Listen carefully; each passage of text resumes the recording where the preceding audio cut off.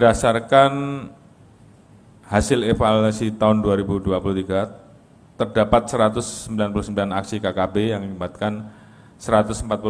orang menjadi korban, sedangkan untuk aksi KKP tahun 2023 terdapat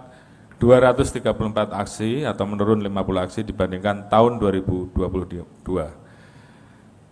Tentunya untuk menghadapi aksi KKB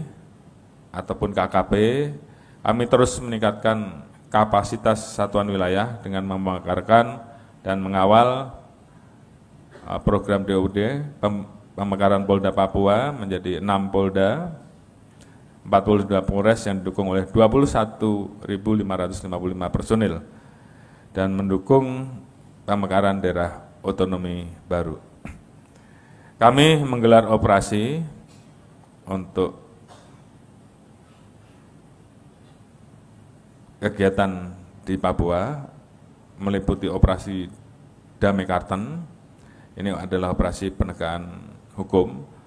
operasi Paru 2023 bersama-sama dengan TNI,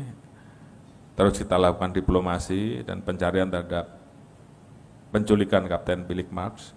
operasi Rasta Samarakasi, operasi soft approach dengan tujuan to win the heart and mind the people of Papua melalui program Bimas Noken dan operasi Petik Bintang Mansiman 2023 terkait dengan